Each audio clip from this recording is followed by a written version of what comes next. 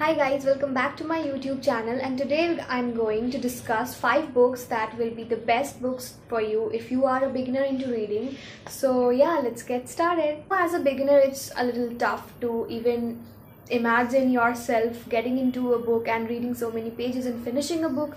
So it's a little tough to imagine yourself in that place. But if you're really into it if you're really interested in getting into reading because there's absolutely nothing as therapeutic and better than reading.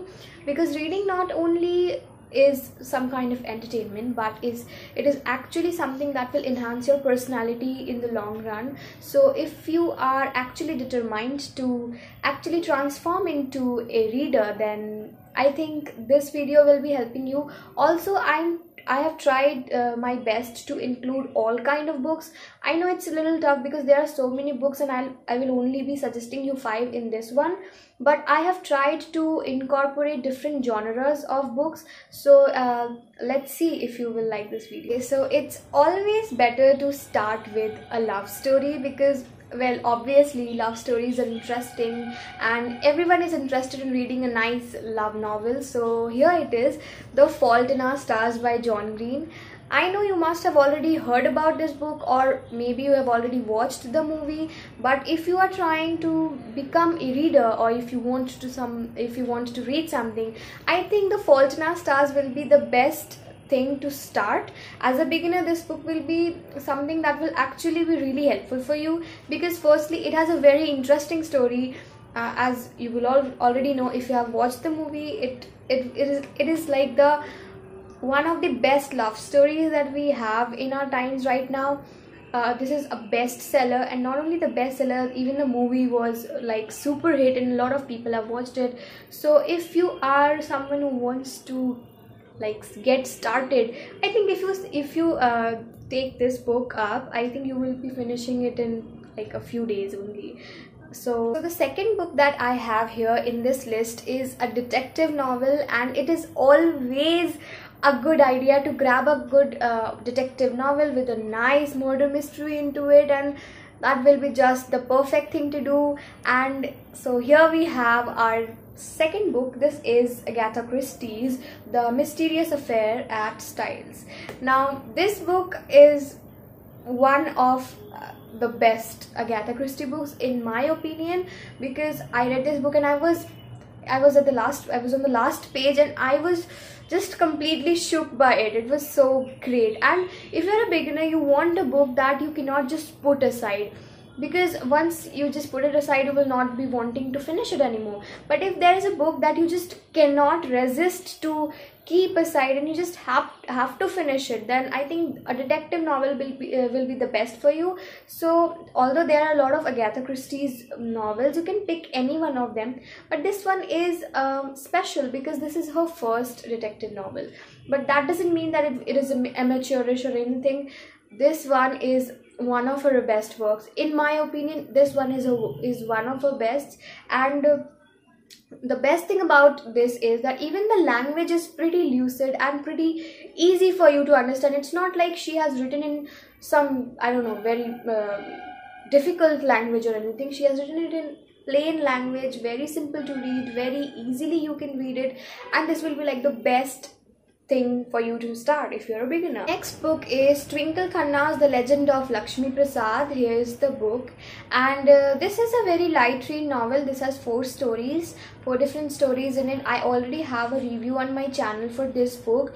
You can go and check that if you want some details on it. Four stories that are there in this book are The Legend of Lakshmi Prasad, Salaam Noni Appa, If the Weather Permits, The Sanitary Man for a Sacred Land. So there are four short stories basically basically in this one book and this is written by Twinkle Khanna.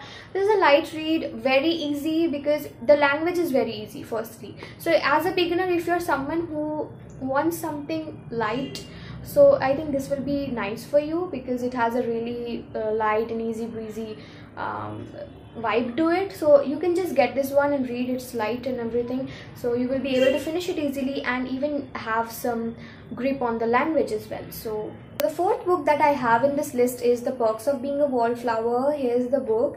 This is pretty tiny. It's a very small book. You can finish it easily. So this book is about a teenager, Charlie, and he gets along with two other friends and they have their adventures and he gets um, he basically writes actually the book is in uh, the form of letters that is he is bas- he is basically writing someone letters and in those letters he is telling him about whatever is going on in his life and his about and in the lives of his friends and family his sister and everything.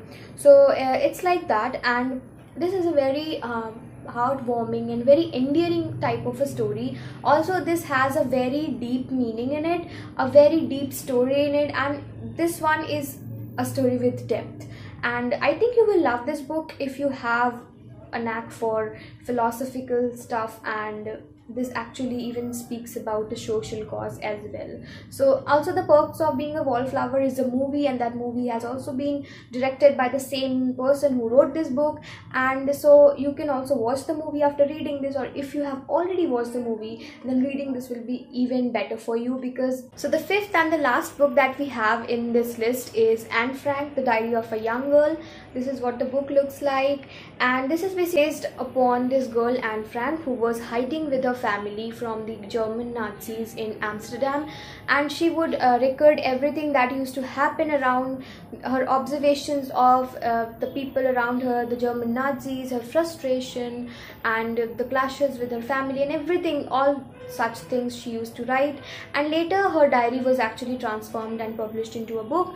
And this is that. I think you must have already read about this in your school but this is a whole novel and i think it will be good for you as uh, as a beginner because the writing is pretty smooth and easy and this is very informative.